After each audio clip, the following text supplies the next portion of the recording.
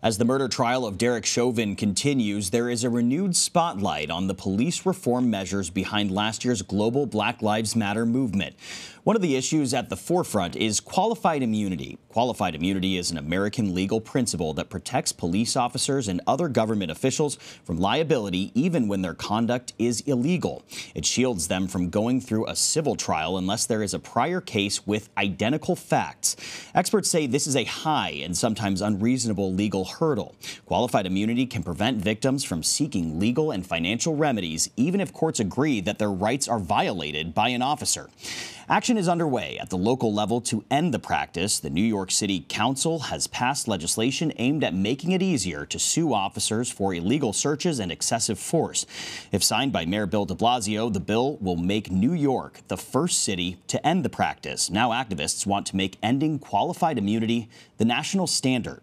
House Democrats are joining that fight through the George Floyd Justice in Policing Act. The bill would restrict qualified immunity's application for state and local officials. Here's how Floyd's family attorney, Ben Crump, described the provision last month. They keep saying, oh, qualified immunity, that you can't do that because that uh, denies justice to police officers. Nobody's trying to deny justice to police officers. This bill won't deny them from having their day in court. No, it won't. Not. But what it will do is allow black families who are grieving and heartbroken to have their day in court too. Okay, I want to bring in Ben Cohen and Jerry Greenfield in Vermont. They're the co chairs of the campaign to end qualified immunity, but you might also recognize them as the co founders of Ben and Jerry's Ice Cream. Gentlemen, welcome. Thanks for joining us on the show. Ben, I'll start with you. What is the campaign to end qualified immunity doing to try to change laws that protect officers?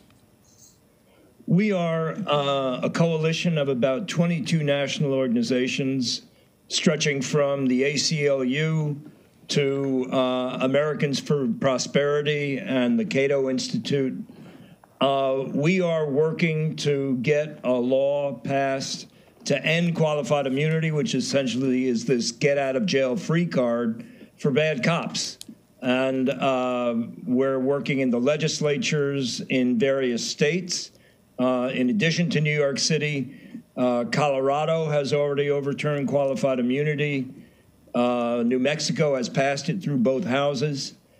Um, so people are realizing that, you know, the very people, the only people that we give the right to use lethal force in our name should be held accountable at least as much as a regular person on the street. Yeah, there's. I mean, if Can, I haul off and smack somebody, I get sued. If a cop does, he doesn't. Now, there, there, are certainly growing calls to, to change this policy. Jerry, I want to flip it over to you. Your website says you've received support across the political spectrum, but there's very little hope for the George Floyd Justice and Policing Act and that it will pass on Capitol Hill. What needs to be done to get Republican lawmakers to sign off on a bill that can restrict qualified immunity? I think we need to get constituents to get in touch with their legislators I mean, as Ben said, qualified immunity is essentially an unfair and unjust doctrine. And it disproportionately affects black and brown people.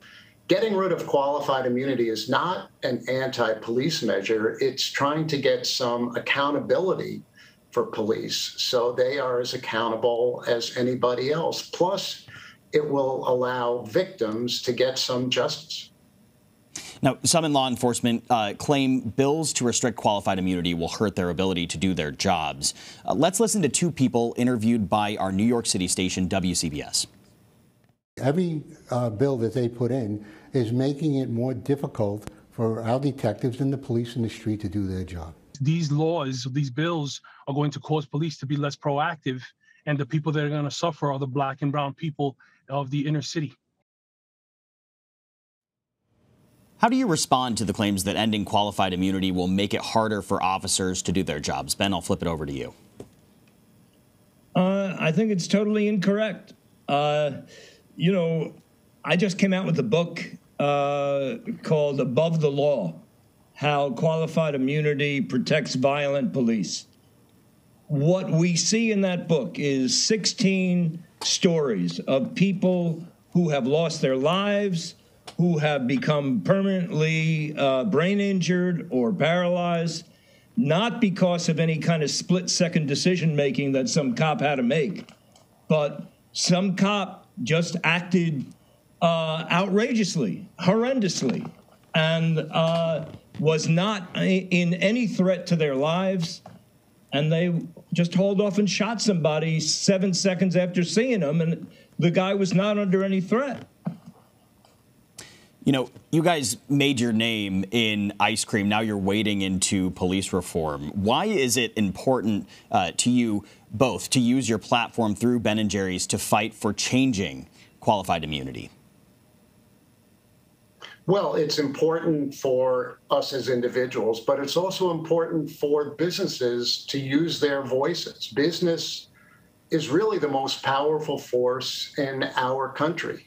And if business is not going to stand up for justice and fairness and what's right, it's not going to happen. The people that have the power, white people, corporations, are the ones that need to make change.